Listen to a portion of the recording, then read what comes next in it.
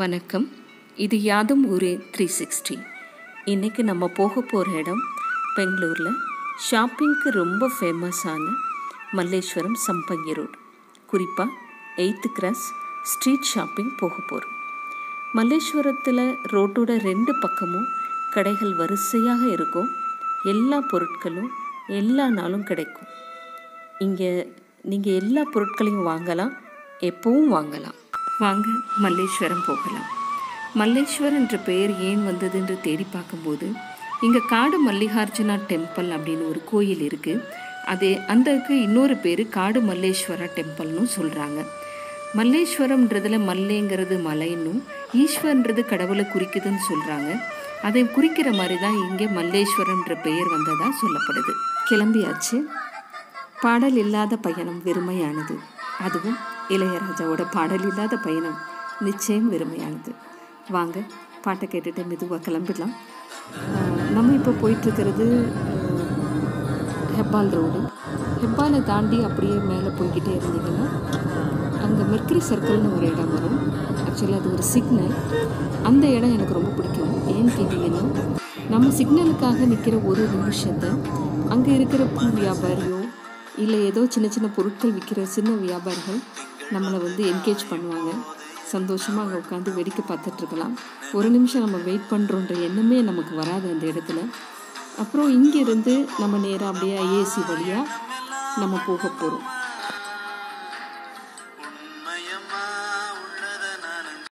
மல்லேஸ்வரம் பற்றின இன்னும் சில இன்ட்ரெஸ்டிங்கான விஷயங்களை உங்கள் கூட நான் பகிர்ந்துக்க போகிறேன் உங்கள் எல்லாருக்கும் தெரிஞ்சிருக்கும். மால்குடி டேஸ் அப்படிங்கிற ஒரு நாவலை எழுதின ஆர்கே நாராயணன் பற்றி அவர் அந்த கதையில் மால்குடி அப்படிங்கிற ஒரு கற்பனை நகரத்தை உருவாக்கியிருப்பார். மால்ங்கிறது மல்லேஸ்வரம் அப்படிங்கிறதுலேருந்து வந்த முதல் மூன்று எழுத்துக்களையும் பசவங்குடியிலேருந்து வந்த கடைசி நான்கு எழுத்துக்களையும் சேர்த்து அவர் மால்குடி அப்படின்னு ஒரு நகரத்தை உருவாக்கியிருப்பார். நிறைய பேர் இந்த நகரத்தை தேடி அலைஞ்சதாகவும் கதைகள் உண்டு. ரொம்ப இன்ட்ரெஸ்டிங்காக இருக்குது இல்லை? வாங்க. ராஜாஜி நகர் போகிற பாதையிலிருந்து விலகி இடதுபுறமாக போயிட்டுருக்கும்போது ஒரு மாரியம்மன் கோயிலை பார்க்க முடிஞ்சது. மொழிவாரி மாநிலங்கள் பிரிக்கப்பட்ட பிறகும் அந்த மக்களோட கலை கலாச்சாரத்தோட மிச்ச சொச்சங்களை இந்த மாதிரி கோயில்கள் மூலமாக பார்க்க முடிஞ்சது.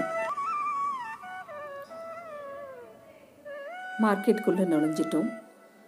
இங்கே கிடைக்கிற அவரைக்காய் ரொம்பவும் சுத்தமாகவும் ஃப்ரெஷ்ஷாகவும் கிடைக்கும். வருடம் முழுவதும் கிடைக்கும். ரோட்டோட இரண்டு பக்கமும் கடைகள் உங்களை வரவேற்கும். உங்களுக்கு தேவையான பொருட்களை மிக பொறுமையாக வாங்கிக்கலாம். இங்கே இருக்கிற ஒரே ஒரு பிரச்சனை பார்க்கிங் குடியிருப்பு பகுதியும் சந்தையும் அருகருகே இருக்கிறதுனால பார்க் பண்ணுறதுக்கு தேவையான இடம் கிடைக்காது உங்களுக்கு. இதை தவிர்க்கணும்னா நீங்கள் பப்ளிக் டிரான்ஸ்போர்ட்டை யூஸ் பண்ணலாம். நகரத்தோட எந்த பகுதியில் நாட்டோட எந்த பகுதியில் இந்த இடத்துக்கு வர்றதுக்கு உங்களுக்கு தேவையான பஸ் ஆட்டோ டாக்ஸி வசதிகள் இருக்கும்.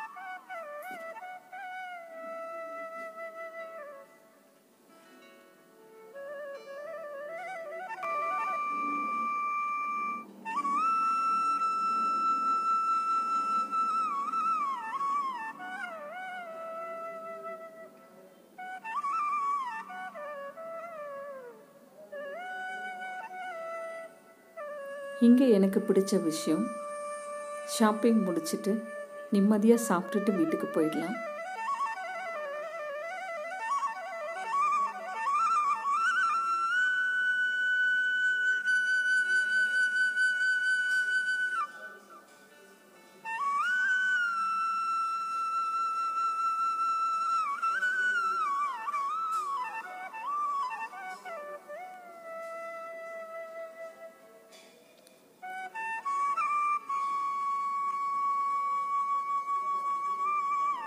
இந்த ஹேண்ட்பேக் எல்லாமே வெறும் இரநூத்தி ஐம்பது ரூபா தான் எது எடுத்தாலும் இரநூத்தி ஐம்பது ரூபான்னு சொன்னாங்க.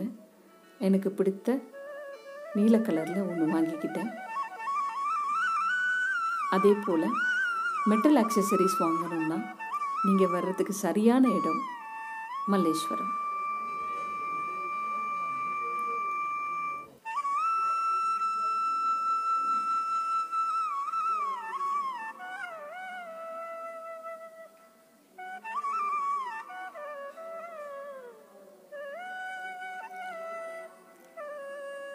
அழகழகான குர்த்திஸ் வெறும் இரநூத்தி ஐம்பது ரூபாய்க்கு வச்சுருந்தாங்க. விலை கூடுதலாகவும் இருக்குது நீங்கள் வாங்கும்போது கவனிக்க வேண்டிய ஒரு விஷயம் ஸ்டிச்சிங். ஸ்டிச்சிங் கரெக்டாக இருந்ததுன்னா உங்களுக்கு ஃபிட் நல்லாயிருக்கும் ஸோ அதை மட்டும் கவனித்து வாங்கிக்கோங்க.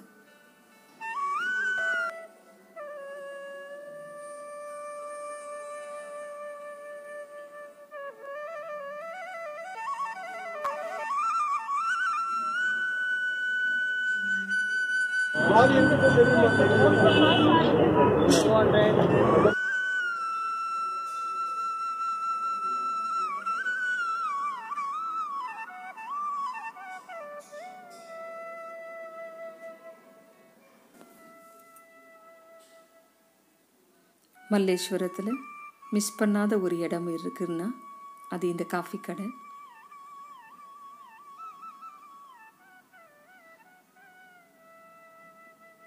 இங்கே ஃப்ரெஷ்ஷாக வறுத்து அரைச்ச காஃபி பொடி கிடைக்கும். உங்களுக்கு பிடிச்சமான ரேஷியோவில் நீங்கள் வாங்கிக்கலாம். நான் எயிட்டி ஃபைவ் ஃபிஃப்டீன் வாங்கினேன். Eighty five coffee fifteen chicory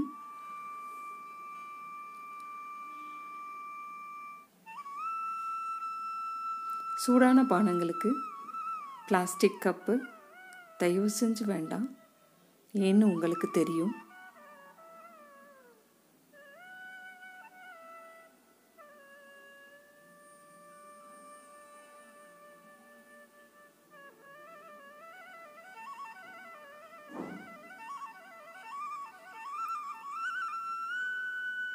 coffee கடையிலேருந்து ஒரு பத்தடி வந்தீங்கன்னா இந்த புத்தக கடையை நீங்கள் பார்க்கலாம். இங்கே பாதி விலையில் உங்களுக்கு புத்தகங்கள் கிடைக்கும். வாங்கி பயன்பெறுங்க.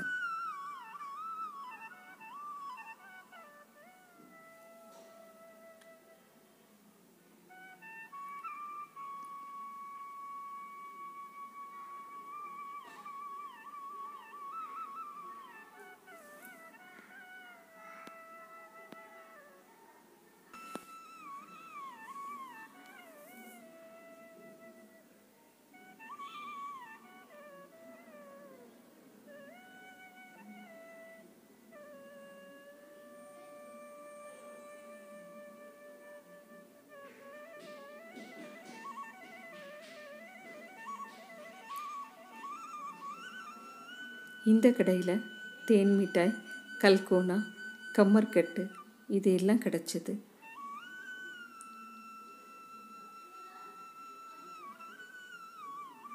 நைன்டிஸ் கிட்ஸோட ஃபேவரட்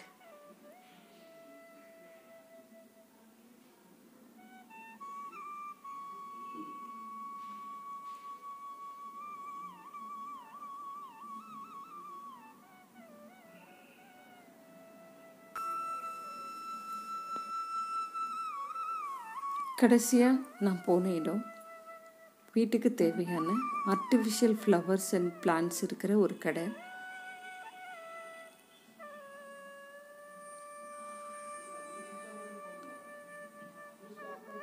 ரொம்ப அழகான நுழைவாயில் தோரணம் நிலப்படி தோரணம் இது எல்லாம் கிடச்சது அங்கே.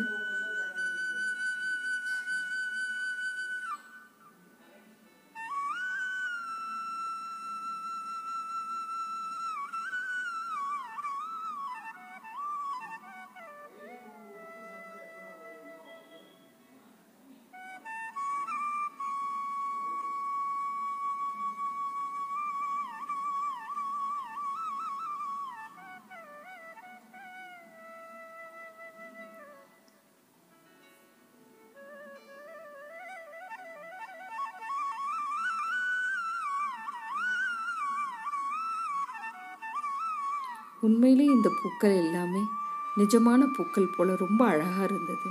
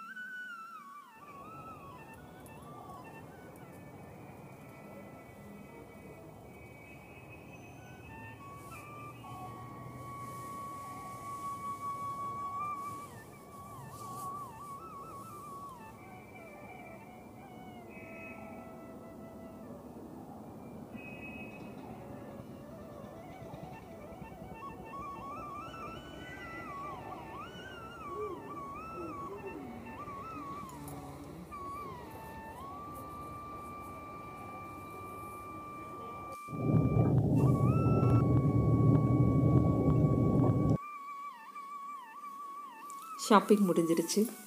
வீட்டுக்கு கிளம்பிட்டோம்.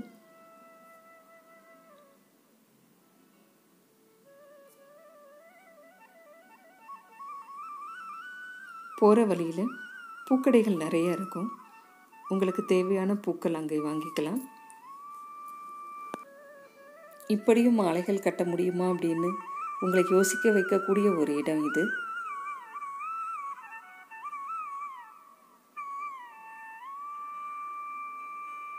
சங்கி டேங்க் வழியாக வீடு வந்துட்டுருக்கோம் மீண்டும் சந்திப்போம். நன்றி.